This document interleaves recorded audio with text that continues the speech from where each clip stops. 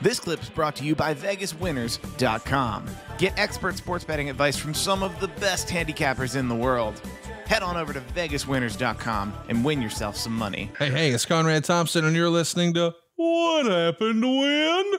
With the voice of your childhood, Tony Schiavone. Tony, what's going on, man? How are you? Life is good. How are you doing? Man, better than I deserve. Happier than a puppy with two Peters.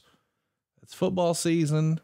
The Braves are in the World Series. A lot of stuff to be happy about. Yeah, a lot going on.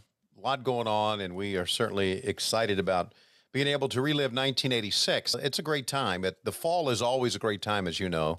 Love it. We're getting into the holidays now, past Geico Ween, if I can shamelessly call it that. Why are you doing that? We're past it.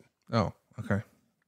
So we're past Halloween, so to speak, and we're into the holidays, which obviously you're like me, you love this time of, year and World Series ending up, college football, last couple of weeks or a few weeks of the regular season during the month of November, and then we get into the championships and holiday. So it's all good, but it's great being with you. And I want to say a very special uh, thank you to uh, Rob Humphrey and everybody in at C4, the Cherry Capital Comic Con C4 in Traverse City for making me seem so welcome, feel so welcome.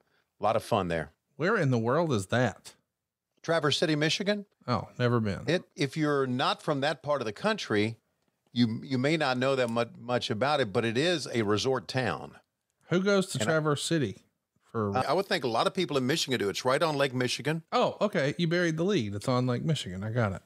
There you go. It's a I stayed at the Grand Traverse Resort, which is very nice, and there's a lot going on there during the uh, you know during the peak season. A lot of people come up there and T- Tony, spend some time. Are you shilling right now?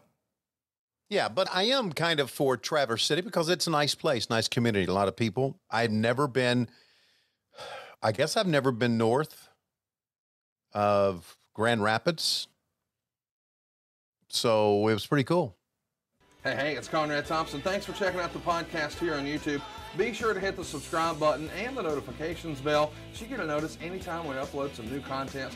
And go save yourself some money right now. If you're in a 30 year loan or you have credit card debt, it's not a matter of if I can save you money, it's a matter of how much. Find out right now for free at SaveWithConrad.com.